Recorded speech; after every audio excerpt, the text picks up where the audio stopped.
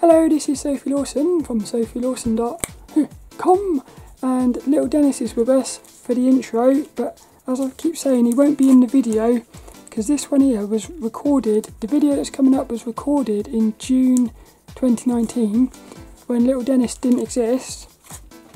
But this is of one of my pencil drawings, Miranda Kerr, she's cool she is but the reason I've come in to do the intro is because the video that I, I show on the um, during the video, the, the website that I showed during the video is the old website. So I just thought I'd clear that up a little bit, but I hope you enjoy this one. Hello, you right? Hello, this is Sophie Lawson from sophielawson.com. Hello.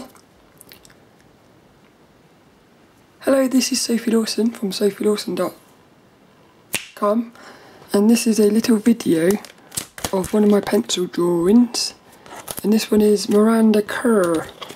What I thought I'd do with this one is compare this one to one I did before which I did a little video of earlier.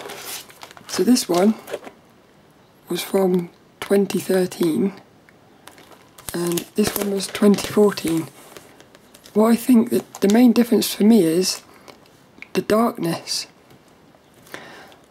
Basically, during that year, I started to push myself to go darker, but like, look at the difference between the hair just because you've gone darker.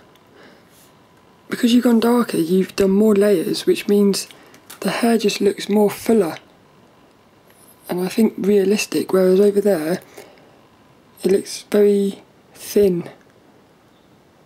So I just thought I thought that would be quite fascinating to look at that. But this one was one of the first ones I did with a grid. I had like little what it is is Lee Hammond in her book drawing lifelike portraits from photographs. She talks about this grid thing, so basically you put like little squares and you what I do is I do my line drawing with the grid and then the rest of it I do freehand. But doing the first bit with the grid it's like you're making sure or not making sure you're helping improve the chances of having the proportions right. But I still like to render it without a grid because I think I think if you got a grid and you're rendering I, just, I imagine that would be weird. Because you would be separating everything whereas when you're rendering I want everything to be together. So I like to look at the whole thing like as one as one thing, which is a I hope that makes sense. what I liked about this one was actually I liked the background. I did this thing with the background where I made it all out of focus, which I think helps pop her forward. And I've never really done that before. But her eyes, she's She's got amazing eyes. And the lips, shiny lips again. I like her shiny lips. I do like her hair on this one. Quite nice. What's really funny about this, I remember, I remember drawing all this and doing the shapes and stuff, and it was only when I finished doing it, I realised what I was drawing. And that sounds weird, but I didn't sort of realise I was drawing a shoulder, which is a. I don't know if I explained that. it was a really strange feeling. It was like, oh, I've just drawn a shoulder here. But I didn't realise I was drawing a shoulder. Very strange. But on the website, I'll put a link in the description. She is actually also one of my inspirational models.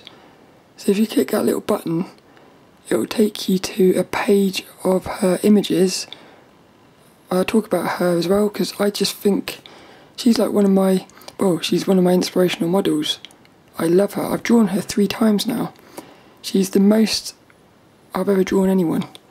Second is Amy Thunderbolt, a cosplayer who I've drawn twice, I think. But little quote from Miranda Kerr. I love this. I believe in celebrating the female figure and embracing what we've been given, not hiding that. This was quite important to me at the time because I was going through. This was when I was going through the bit of transitioning into Sophie and still hiding it from my website. So this was quite an important quote, really, making me realise you don't hide, embrace what you are. These little work in progress images, I quite like that actually. Oh, that's quite cool. Do the work on the trifecta, the eyes, nose, and mouth. Again, I love the drawings without any hair. Something weird about that, like in a nice way. I wonder if you could leave it like that. Funny. And then that's the last one.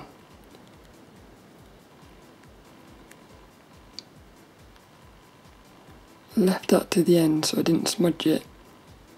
Yeah, I really had fun doing that background. No normally, I don't normally do backgrounds. I normally just keep the backgrounds white. This is the first time I thought I'm going to do a background. I think I probably did it because I needed to, because that was light on dark.